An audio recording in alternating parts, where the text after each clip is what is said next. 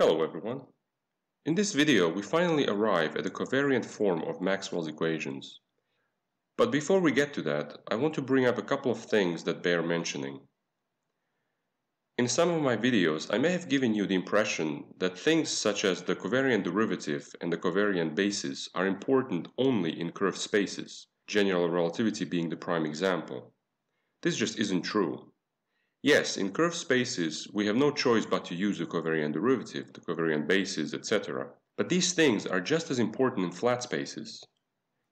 Let me put it this way.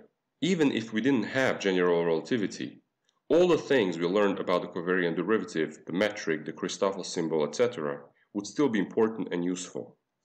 For example, in flat spacetime, the type of coordinates we're used to look something like this. The different color coordinate lines may not be parallel, but the directions of the bases are forever fixed, and therefore the Christoffel symbols are zero everywhere. But, if we wanted to, could we not choose some crazy coordinates like these? Of course we could, as long as the different color lines never cross. They may not be a wise choice because, unlike for these coordinates, the segments along each direction does not have a simple interpretation. So why should we care about crazy coordinates, you might ask? The reason is simple. Any theory that is valid only in a particular set or sets of coordinates is wrong. Nature doesn't care about what coordinates we choose, and therefore any correct theory must yield results that are independent of coordinates. If, for example, a phenomenon can be described by a scalar field and hence by a single number at a specific point in spacetime, how we get to that point is completely irrelevant any theory that says otherwise cannot be correct. This is why tensors and covariant derivatives are indispensable. They allow the exploration of potential theories without worrying about coordinates. The main topic of this video is a wonderful demonstration of this. But there's just one more quick thing I need to mention before we get on. In a previous video I said that the rule of tensor multiplication is this. The first basis is dotted with the first vector the second basis with the second vector, and so on. I realized afterwards that tensor algebra is much more forgiving than that. There isn't really any rule. It all depends on what kind of object you want to form by combining two tensors. For example, say we wanted to combine two tensors. We could do it by pairing this index with this one, by dotting this base with this one. Or we could pair this index with this one which will give us a different object. What if we had a covariant tensor? Could we combine it with this tensor by, say, pairing these indices? Sure, why not? Notice that whatever we do, the indices are always contracted the correct way, the bottom with the top one. With this notation, it is virtually impossible to make a mistake.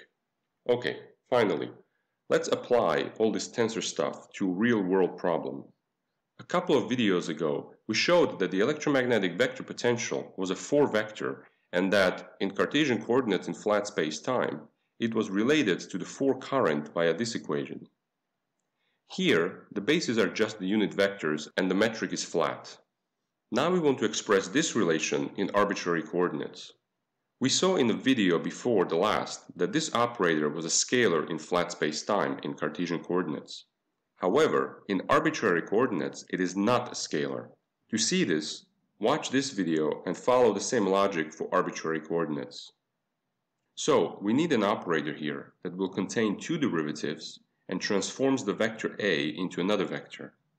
We saw in the previous video on tensors that the kind of differential operator acting on a tensor must look like this, so as to take one invariant and transform it into another invariant. So by doing this, we go from a tensor of rank 1 to tensor of rank 2. For brevity, let's call this guy BIM. We need one more derivative, so we must repeat this operation. However, we want to end up with a tensor of rank 1, as the right-hand side demands here, so we must dot this dual base with one of the bases here. But which one? Either choice will give us a tensor of rank 1.